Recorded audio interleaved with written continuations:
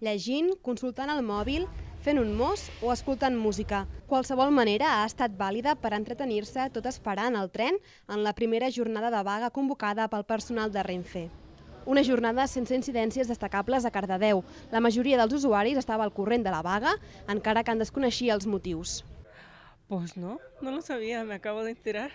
Sí, sabía que había huelga, pero pensaba que había más servicios mínimos. Miré por internet y vi el horario. Y sé que pasan cada una hora y bueno, y esperar que pase, esperar que pase cuando dice internet que pasa. També la poca freqüència de convois ha sorprès a més d'un que ha acabat per no viatjar en tren. Entre els passatgers hi ha hagut disparitat d'opinions sobre aquesta vaga.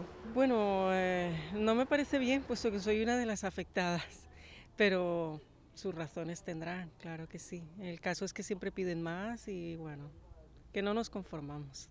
Pero si hay servicios mínimos, o sea, yo miro la hora que pasa y ya está. Es así.